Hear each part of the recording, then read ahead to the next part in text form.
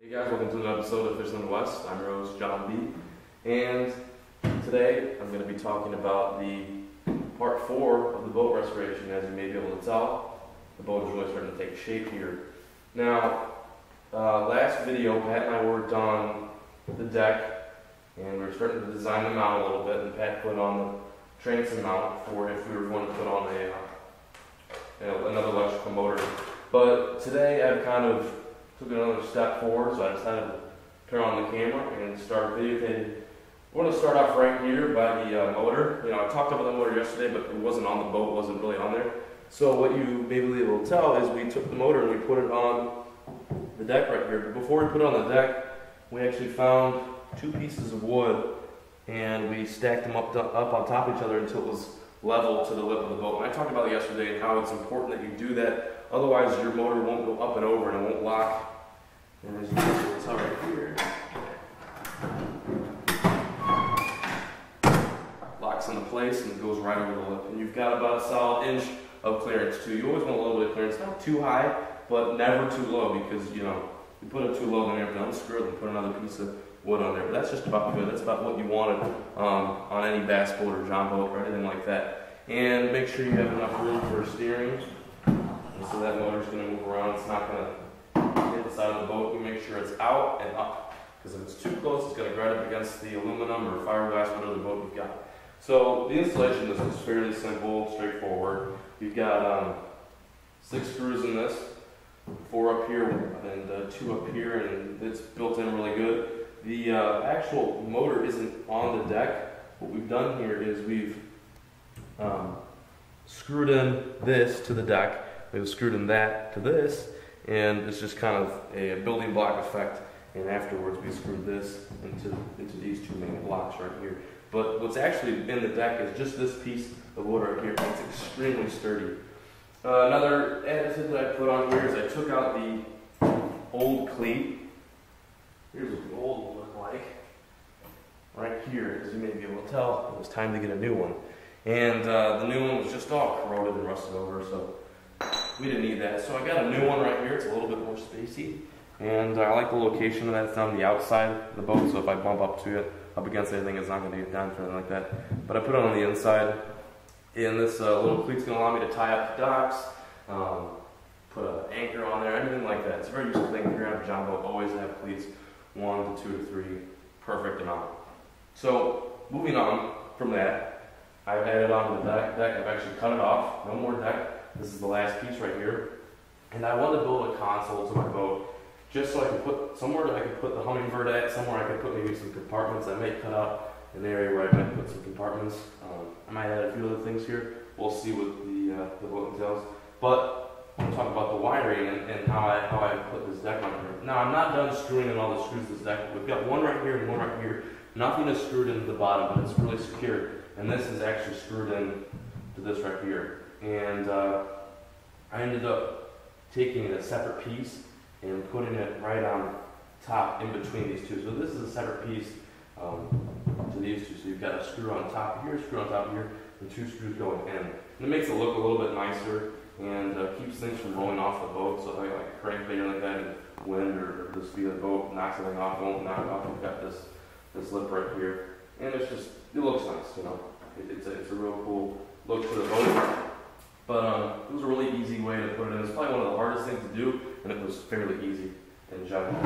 So um, I like that a lot. It's like little console my jungle. I just really like that design when we put it in. So on the console, we've got my 400 TX Humminbird, which I bought a while back, and never thought I was going to be able to put on the jon boat, but I've, it's finally on here.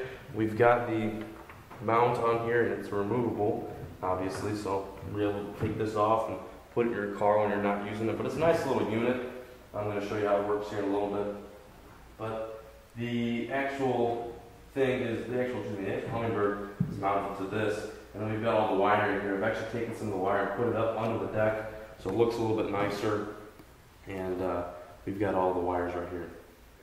So right now I'm going to talk about the wiring and how I did it all. I don't know a whole lot about wiring. I didn't have any previous knowledge besides some tricks and tips my grandfather's taught me. He's a really handy guy. So pretty much everything I've done right here, he's kind of taught me and kind of got me started into. But the wiring wasn't too hard, and I just went to Home Depot. I picked up a few necessities for wiring and, and electrical appliances, and all I really needed was just um, some electrical tape. I needed, I don't even know what they're called. They're, they're pretty much the connectors, two things you can crimp together to make two wires. That looks pretty ugly. I'm, I'm probably look pretty awful to most people who know how to properly um, apply two electrical cords.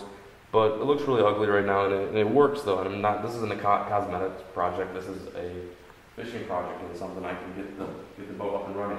But anyways, it was. It took no time at all. I took 10 minutes, and I cut out two little holes back here where I could slide the wires through. The transducer wire wire is right here. The main battery wire where it connects to the back battery console is right here.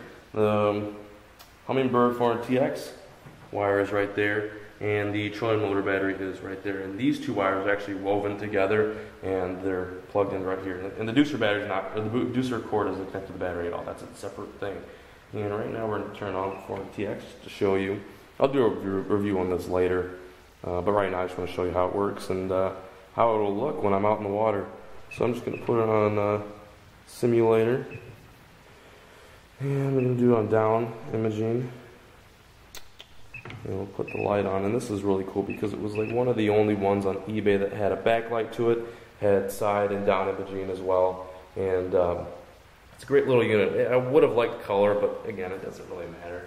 It works. I'm not getting, you know, a, a, big Lowrance unit. I'm just going to get something small for the jon boat. This was actually more expensive than the boat, ironically enough. Uh, anyways, that's all hooked up.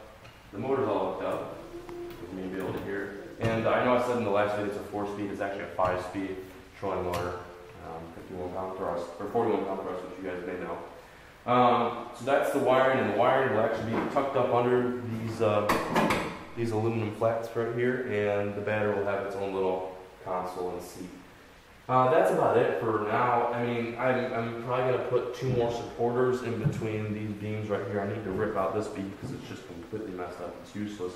This aluminum beam right here is just toast.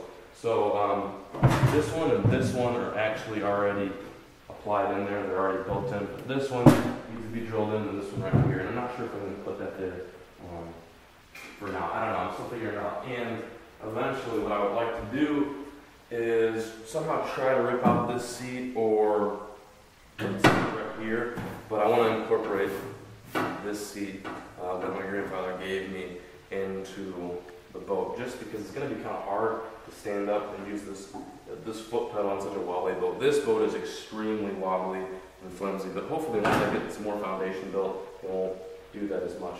But uh, that's about it. I know I talked a lot, and I know I did a lot of um, showing us some new stuff. But I hope you guys enjoyed this episode.